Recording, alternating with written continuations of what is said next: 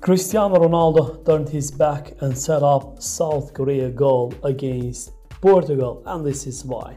Hey guys, once again, welcome back to the Football News channel Top News 1 and to the World Cup post-game reaction. Watchers football fans believe that Cristiano Ronaldo has hand in South Korea World Cup equalizer against Portugal. Ronaldo played a key role in the South Korea goal against Portugal at the World Cup, a winner goal, of course. However, Ronaldo has just one goal to his name in Qatar, but it hasn't stopped Portugal booking their place in the knockout stage.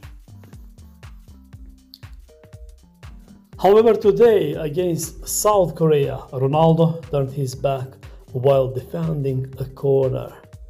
A corner was swung in from the left hand side and the ball hit off Ronaldo's back and fell to South Korea player Kim Young-gwon.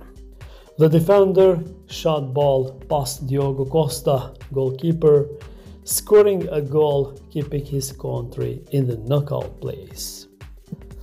But Ronaldo's involvement has all fans saying the same thing. Great assist by Cristiano Ronaldo. Thank you for watching.